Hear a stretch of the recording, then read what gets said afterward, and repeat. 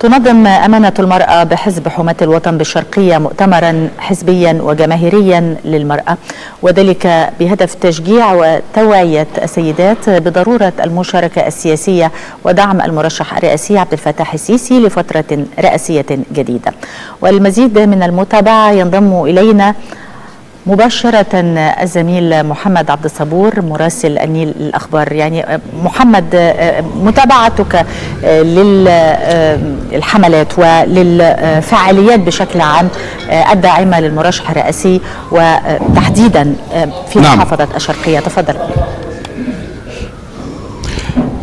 محافظة الشرقية هنا وتحديدا على مستوى حزب حماة الوطن يعني كل أعضاء وقياداته ينتفضون من أجل دعم وتأييد الرئيس عبد الفتاح السيسي. كان هناك سلسلة من المؤتمرات بدأت ولم تنتهي وستظل حتى فترة الصمت الانتخابي. ولكن هذه المرة هذا المؤتمر ذات طابع خاص وهو على مستوى السيدات أو عظيمات مصر على مستوى قيادات حزب حماة الوطن على مستوى المرأة المصرية والتي طالما نالت الكثير من الحقوق والاستحقاقات وأيضا المزايا السياسية والاقتصادية والاجتماعية في عصر الرئيس عبد الفتاح السيسي. فبالتالي هذا المشهد ليس غريبا أن نرى المرأة داخل حزب حماة الوطن تصطف بهذه الطريقة دعما وتأييدا للسيد الرئيس. سريعا هذه اللقاءات. معي الدكتور أشرف سعد سليمان أمين حزب حماة الوطن. ما هي الرسالة من هذا يعني الملتقى الخاص بالسيدات؟ أهلا بيكم. إحنا ايمانا منا بدور المرأة المصرية.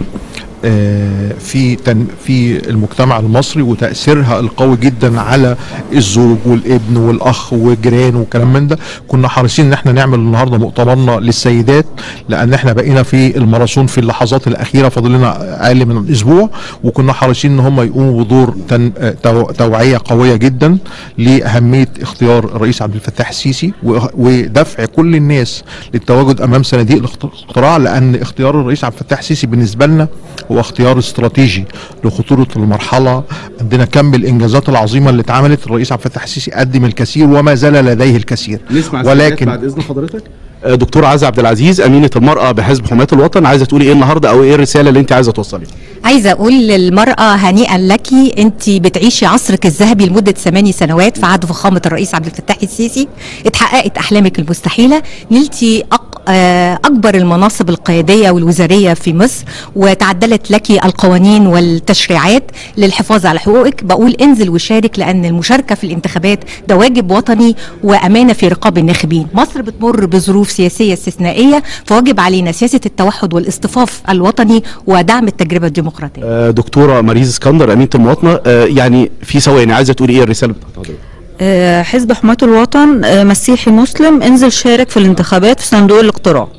أستاذ هاني جد أمين المصريين في الخارج. عايز تقولي النهارده في رسالة سريعة. بما إن اللي هتنزل جوزها وابنها وجارتها وجيرانها فاحنا جينا النهارده عشان ندعمهم ونحسهم على الاصطفاف يوم 10 و11 و12 أمام الصناديق وإحنا معاهم. دكتوره أمل أمينة المراسم في حزب حماية الوطن رسالة سريعة عايزة توصليها من خلال هذا الموضوع أقول كل امرأة يا قوية يا عاقلة يا مستنيرة يا حكيمة انزلي وكملي مشوارك. نعم. آه النهارده حضرتك اتفضلي سريعا كده إيه الرسالة من هذا المؤتمر؟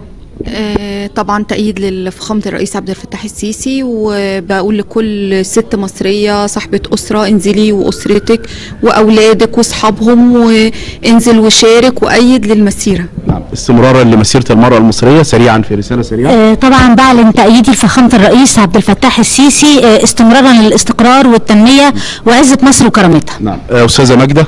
عايزة تقولي إيه كمرأة مصرية شرقوية آه قبل أيام قليلة من آه انتخابات وسباق الرئاسة؟ انزل وشارك آه النجمة. إحنا معاك يا ريس. آه إيد واحدة مسلم ومسيحي راجل وست. آه وإن شاء الله ربنا يوفقه بإذن الله. نعم. إحنا كلنا تحت أمر سيادة الرئيس السيسي وبنأيده. وكل سيدات مصر إن شاء الله هتكون في الميعاد الموكر بإذن الله وبنأيده وبنأيده. المرأة المصرية وحضرتك طبعا أمين مدينة مركز زازيق جاي النهاردة تدعم المرأة آه تقول لها إيه النهاردة خلال هذا الموضوع المرأة هي كل المجتمع هي الأم والأخت والست والابن والزوجة فإحنا النهارده من خلال حزب حمايه الوطن أميرة محافظة الشرقية أميرة المرأة النهارده بتنظم مؤتمر لسيدات مصر آه، دعما لفخامة السيد الرئيس وبتحث المرأة المصرية إنها تشجع على النزول إنها تنزل وتشجع بيتها وجيرانها على النزول إن شاء الله للانتخابات والمشاركة إن شاء الله. نعم. آه، حضرتك عايزة تقولي إيه النهارده في رسالة سريعة كده آه، قبل انتخابات الرئاسة آه، بقول لكل ست شرقية وكل ست مصرية تنزل وتشارك. وإحنا معاك يا ريس يعني آه، زميلاتي العزيزة هم عاصمات مصر هم أعضاء حزب آه، حماة الوطن اليوم بيعقدون آه، مؤتمر جماهيريا لدعم السيد الرئيس ولكن بطابع نسائي نظرا لما حصلوا عليه من الكثير من المزايا على مستوى كافة القطاعات وكافة الحقوق محمد عبد الصبور أشكرك جزيل الشكر على هذه المتابعة من محافظة الشرقية.